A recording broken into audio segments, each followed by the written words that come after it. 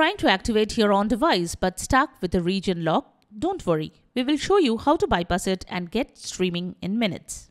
Welcome back to Silicophilic, your go-to source for tech fixes and smart solutions. Today we are tackling a common issue, region lock on ONN devices. Whether you are outside the US or facing activation errors, we have got the steps to unlock your device and get it working anywhere in the world. Method 1. Install the Google Home app. Make sure your ONN device and the smartphone is connected to the same internet connection before you proceed. Else, you can set it afterwards. Now go to the Play Store on your Android device or App Store on your iOS device. Search for Google Home app and install the app. Open the app and sign in with your Google account.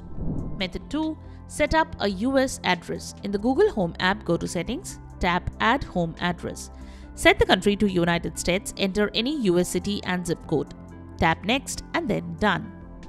Method 3. Connect your Google TV device. Plug in the HDMI cable and power source. Wait for the device to boot up and display the pairing screen.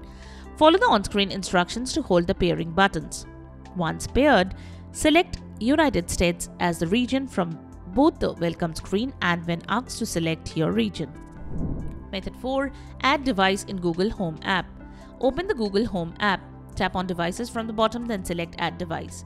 Then select Google Nest or partner devices. The app should detect your device using the US address you set earlier. Tap next or similar option when the device appears. Follow the on-screen instructions to finish the process. Use your phone to scan the QR code displayed on the TV when prompted.